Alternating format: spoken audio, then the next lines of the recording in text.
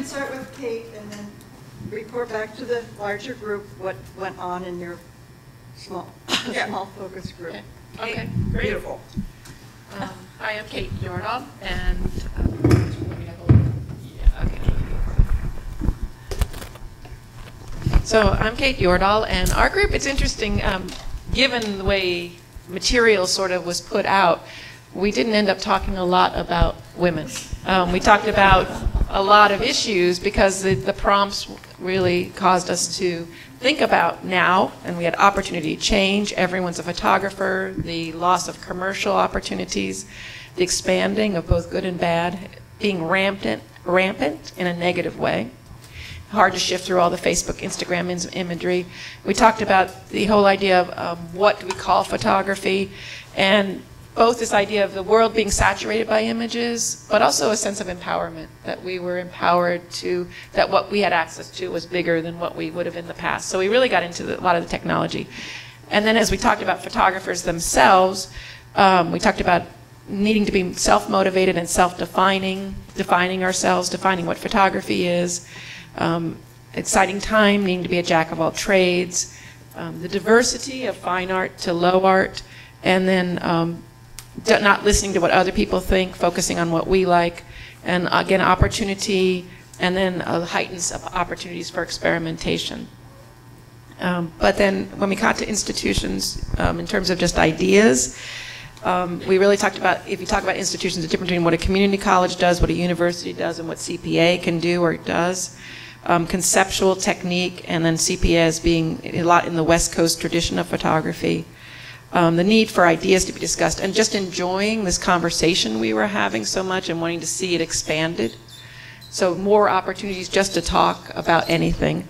Um, the need to serve the membership of CPA and find the difficulty for nonprofits to get funding, um, getting the belief of the don- donors. So the idea of bringing more experimental artists to educate the, the community. And then we asked the question of why more men weren't here today. And the thought of how the promotion was done to not feel like it was a conversation everyone should come to, and the information needing to be out earlier and more. And then we got back to the need for more volunteers, so you all can, um, can think about that as an opportunity. And you did all that in a half hour? Yeah, I didn't, I didn't, I- I didn't read, I didn't read all of it. But I hope I captured the gist of what we talked about. Yeah. Could we ask you, I'll just, since I'm the note taker. Yes. That's what you get Yes. for being a professor. Yes. Uh, Were there any specific things, do you do you have recommendations for the CPA? I think, um, reaching out more, Okay. because um, there was a sense that there could be more people here, and particularly more men, that there were people, people who thought that men weren't welcome in some way, and that certainly wasn't, I don't think, the, the, in, um, the intention. The idea of having more opportunities to talk about photography and talk about ideas. Um, And that it's important that we include more experimentation in, in the, in what happens at CPA. Is my squeaking bothering people? Dragging my nails. You bought the cheap shoes. More experimentation. Okay, More experimentation. okay. Okay. Well, my name's Carol Henry, and I appreciate this opportunity. Um, And in my group, I had Linda herself and Jane as well. So we really did try and stay focused on the women's issues uh, more than the CPA, I guess, angle. And um, we had a, a very diverse group uh, of of several opinions about the state of photography today, and we did have a male in our group, which was a, a gift. So, uh, um, some of the, the ideas about the first topic um, was about photography itself, was about digital, of course, and the expansion of the medium to reach out to more more people and I think women personally I think it is um, putting cameras in more women's hands these days and the ability to share their their visual um, creations. Uh, there were people who were excited about that opportunity, and then there were those in the group who felt that um, it closed doors to them. That digital had closed doors either through the disappearance, disappearance of certain media availability or um, just a technological advance that they couldn't keep up with. So it was an interesting balance, I think, uh, an assessment of photography today. And of course, that reaches out to both men and women, but was it was interesting. So then we moved on to um, the next point, which was photographers themselves. And um, social media came up as an angle for photographers, uh, self expression, uh, photography that has a sense of place, um, and documentary photography came up. And uh, interestingly, uh, Vivian Maier came up and we talked about uh, whether it's important to have your art form recognized in your own lifetime. And she being a woman who had a whole other calling and career and didn't have the opportunity to show her work, but we did discuss that somewhat. And then as far as the third point went, um, the institutions, galleries, workshops, etc., I thought something interesting came up uh, from a, a, female perspective and was the cost of workshops, besides just the absence of women being represented in institutions and um, other arenas in photography, uh, was that the cost of furthering er your education um, would be more of a challenge now than it has in the past in regards to advancing photography. So um, that was how we wrapped it up, I think, in our group. And then we went on to talk about how can CPA reach out to women. And um, there were some renegade suggestions like uh, making shows where no one's name is attached to the visual image. Um, but we all agree that you need to reach out to more women. And uh, one of the thoughts, and particularly an interesting thought that Linda had, was a women's lecture series on photography every couple of weeks, which is quite frequent, but then you won't forget about us if you're doing it that often. Um, have a women, uh, a female photographer or visiting speaker. Um, No, But- can I correct that a little bit? yes. Um, I was thinking of it more um, as a history class that would be over a number of weeks. And that would be, focus on the history of women in photography. So that the whole community would have an opportunity to have a deeper history and knowledge of the, what women have brought to the field. Um, And I think it's a great idea having women lecturers come here often too, but I was thinking of more of a general um, history of photography type course. Okay. And one of my favorite um, suggestions that Linda had was the um, year of the woman photographer at CPA. And um, um, with workshops and the collector prints. So, you know, the collector series prints have the, just go out on a limb and make one year all women photography, women's photography. Okay. Well, as part of it, yes. Um, But there was also uh, some comments about self-publishing and how self-publishing can help women uh, in this day and age uh, reach out and share their work. And that ties in with the, the collector's prints, I think. And that pretty much is a wrap-up of our group.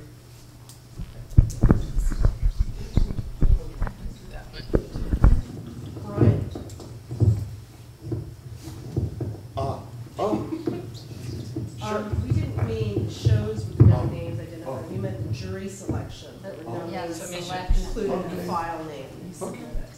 You know, that's usually always the case though, I gotta say, I, I've Right. juried a show, and we don't, It we is don't the ever case, discriminate. although But, shows it's not. Dina, you know, to, to, to, to completely reinforce what you're saying, our group said, how about more female jurors?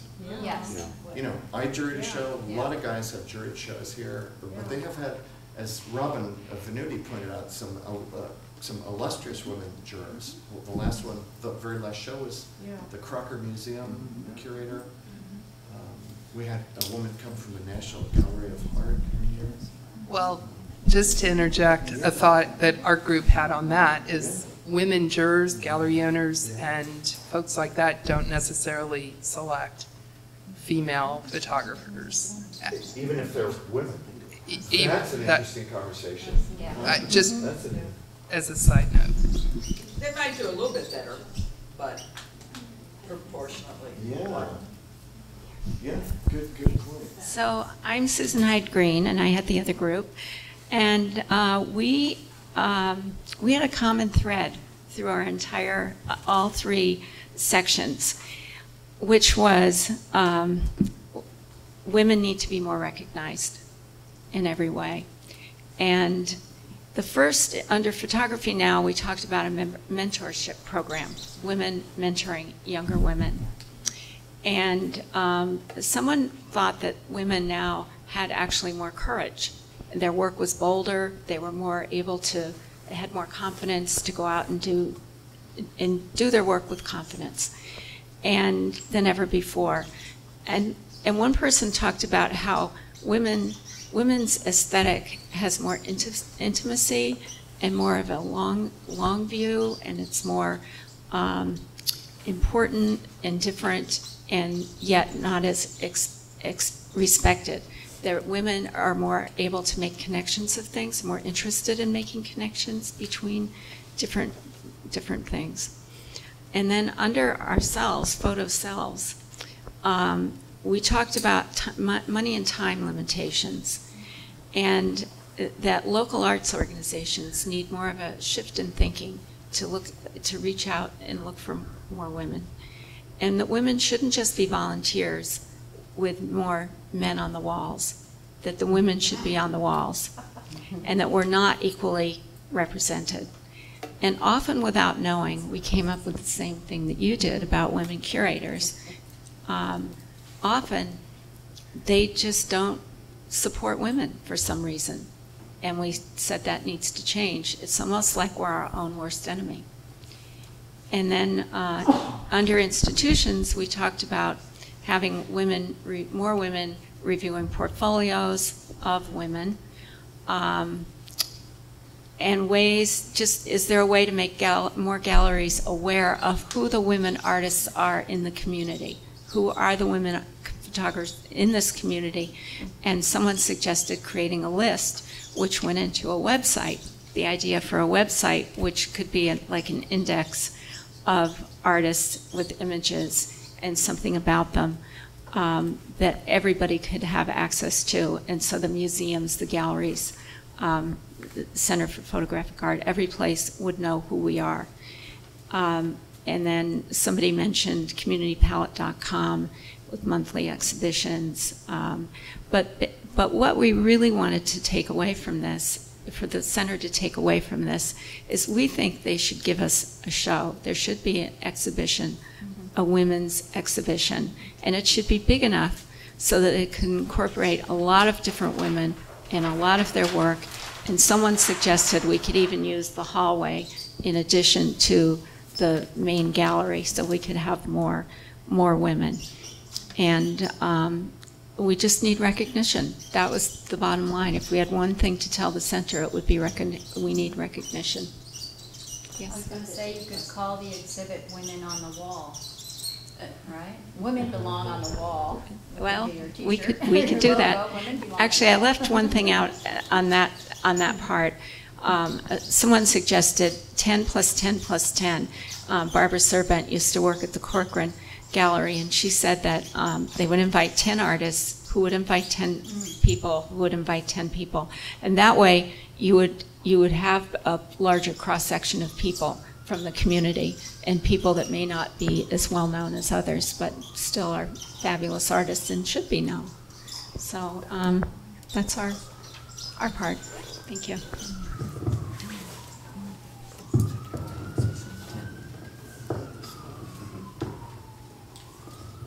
I just want to throw in, no, I don't want to use that. Um, One of the things that Photo Alliance does ev- once a year, and it's, it- it's, and Ted is always there. And I don't know if, Brian, have you come up for the portfolio review? Uh, not, not yet, but uh, I've, I've sent, uh, I've Yeah. actually sent one of my best grad students, and they've enjoyed meeting with Ted and David and all your, all your reviewers. Yeah. But the portfolio reviews uh, are a really important way for you to get feedback on your work. And the one at Photo Alliance, I'm, I'm proud to say, it's kind of like FotoFest with trainer wheels. You know, it's, it's not as competitive, it's, and it's not in Houston. Uh, FotoFest is quite fabulous, but, um, there's also a good one up in Portland. Um, and it's a way to really build your community and, and get support and feedback, uh, critical feedback, which you- you, you want, you want that too, not just that you're wonderful. So, You, you just had a great uh, Photo Alliance lecture by a great woman photographer a week ago, right? Tina, well, we had Tina Bar- Barney. Tina Barney, yeah. Well, I will say about Photo Alliance, that you show, you feature more women than almost any other organization. They really are, you really are very good about that. I guess I can do this without, this, this makes funny noises. I'll just shout. So do you. Touche. Um, I, I think uh, much of what I could say would uh, follow directly from what has already been said. So let me just take a slightly different tack on, on one thing, and that is in, in looking at, the, at uh, trying to focus in on specific things that could be done. Uh, there is a certain sense that maybe doing all of these specific things, while helpful, doesn't really solve the problem. It, it just sort of moves something up to the front of the line for a little while, and then it will slide back because structurally, the underpinnings aren't there. So we ended up, I think, gravitating a little bit toward what I would call the big ball of wax theory of art making, which is basically that everything matters and that you need to lift the whole, the whole shebang.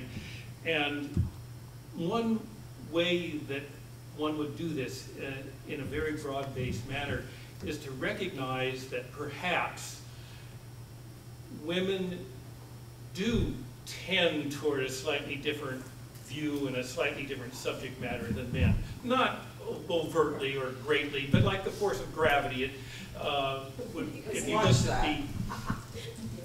at the, the, at the pictures that were up here just before we started the, the, the little round robin discussions uh, of, of the, the different women who were moderating. Uh, if, if, if I were asked, were these made by a man or a woman, I would have said a woman. And, and, I, and I think you sense that there was a certain greater kind of intimacy, there was a certain more of a human scale to things, small objects, there was a certain hands-on atmosphere of creating things almost uh, three-dimensionally and montaging them or constructing them, as opposed to looking for the biggest sequoia in the forest and pointing the camera up.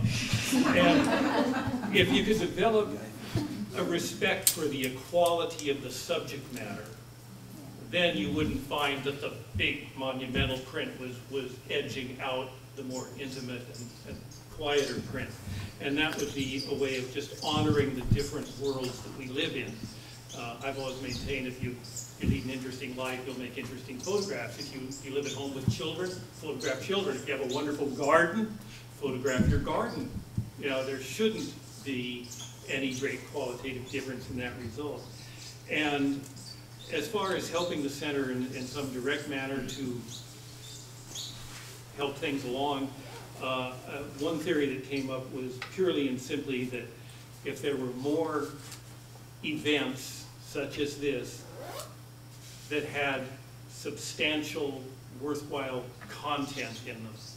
Wouldn't have to be about women, would just be anything that would draw in an equal audience of men and women, and that when they were participating in it, they would have equal respect in their views, that again, slowly but surely, the tide would rise. That was our two cents worth. We did use the word affirmative. oh, Having Swanee, having Swanee. Oh. Yes, there were As some- women. yes, I said there Some were road- some self-promotion aspects. Yeah.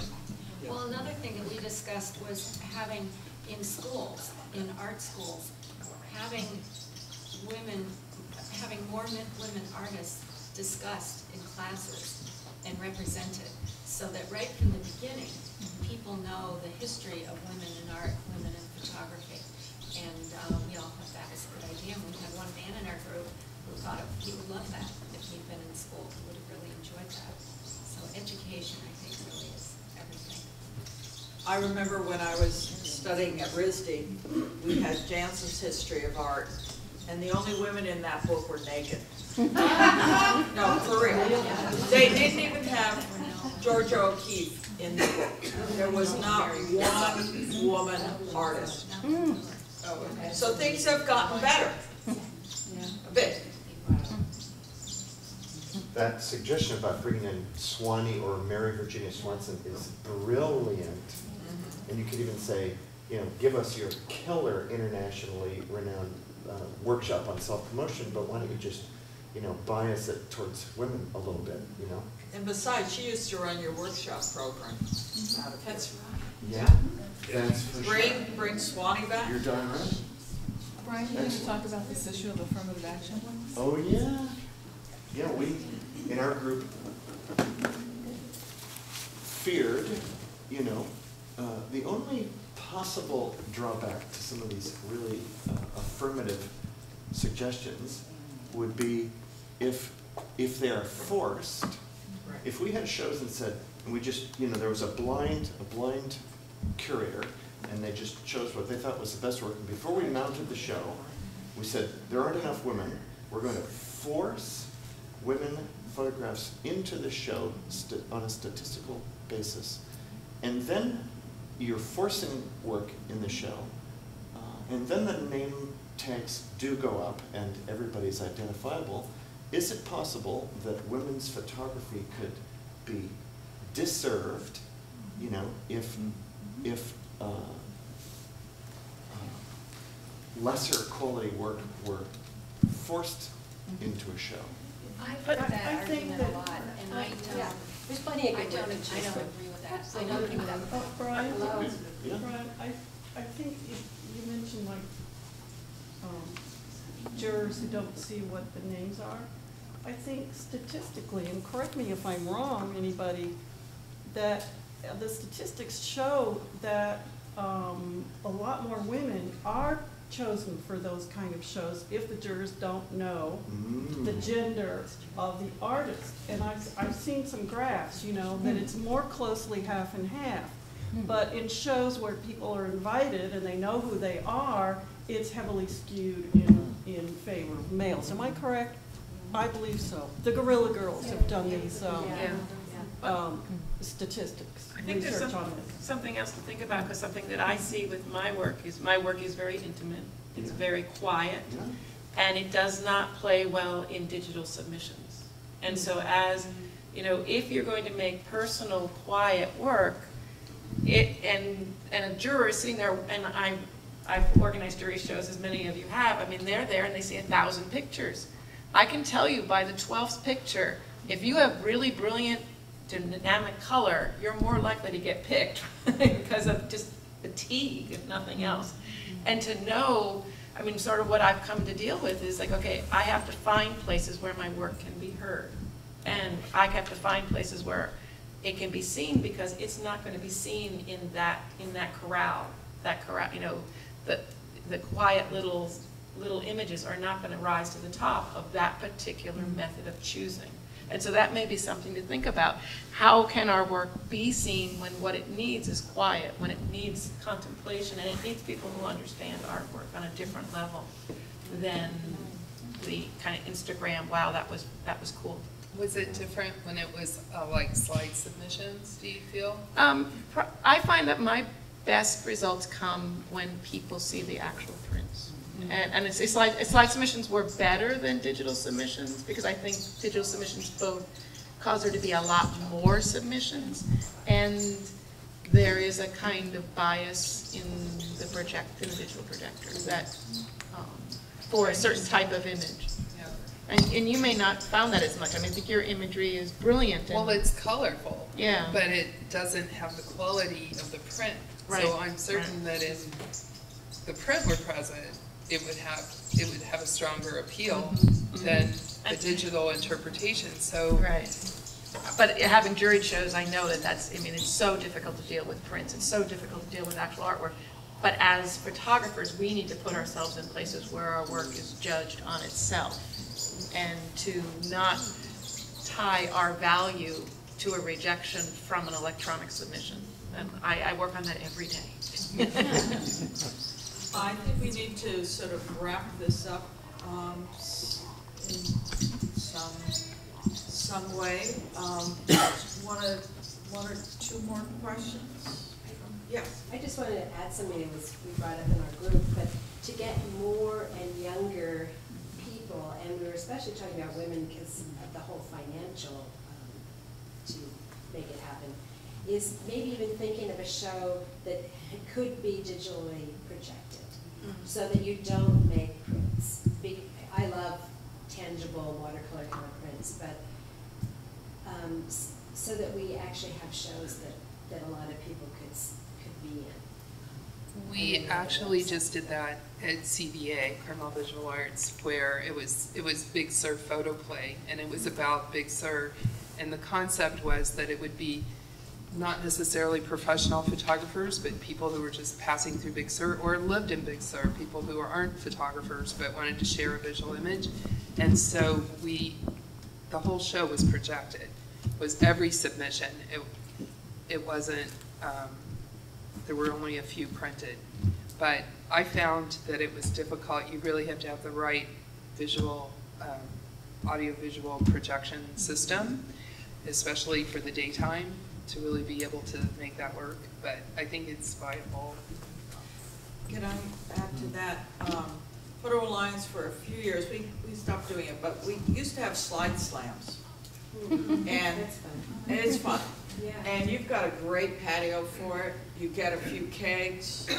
Um, yeah. I mean, even what we did with the, with the, the participants here, having, I'm really glad to have seen your guys' work. Because I wasn't familiar, I'm a little bit familiar with some of it, but, um, but just as an introduction, it doesn't, it can be very casual, it can, and very inclusive. And that's something that I think the center could, um, could do fairly easily here. And, It um, it would create community, it's community Yeah. weaving. Community. and the younger people, I think, you Yeah. know, get the beer here though, you know, the wine. Yeah, yeah, yeah. we put it away. Yours They won't let us use the patio anymore without paying. Oh. You have to get have to rent the patio now.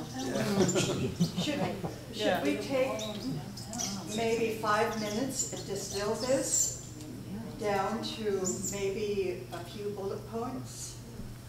No. I think this is, Is this Yeah, okay? just give it all to yeah, Yeah. We'll give them the whole scroll. We'll give them their money's worth. John. Yeah. If I might, I'd like to offer one other suggestion, I think might be simple. Everything Sure. seems more simple than it really is, of course.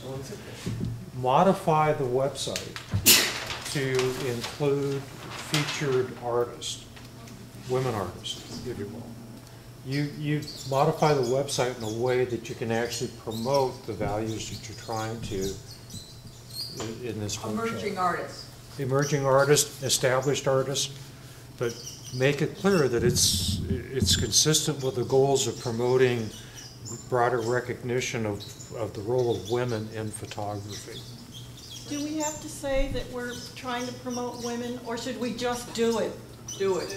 You know, oh, Well, just do it. I- Just I do it. think- I think we're at the point where if we keep saying, well, we're gonna try to promote women more and blah, blah, blah, blah, blah, that it's just like, do we have to do that now? Aren't we past that? Let's just do it. Just do it. Without saying we're doing Let's it. just do it. Yeah. No. Just do it. Well, yeah. Any more Increases the possibility of questions? alienating. Questions, Yeah, comments? yeah. Anybody? Well, why don't you do one of these kind of events every year, maybe not always about women in photography, but in some, some aspect of photography that is this I kind think of a round table thing. idea. And just because this was titled Women in Photography, it did not exclude men. We had men as moderators, men that are supporting us. And we, as women, need to bring in the men to support us. Well, Ted and I are always happy to be, to be outnumbered. The sacrifices we make. I would like to also suggest um, photography with, with diversity, because not, ju- I mean, women, we shouldn't be considered diverse, but we are, in a- this is a very white and very wealthy and Right. very male-dominated Right. society in our area. Yes. We have people of color all Yes. around us. Yes. And we have the biggest language capital of the world right here in Monterey. We could have, not just us as travelers, we could have people who have lived in these countries. We could have other languages. We could have a lot more diversity in our, mm-hmm. in our, the ways we show photographs and the ways that people we invite in. Because we need younger and more and, you know, I like, I like different colors, you know?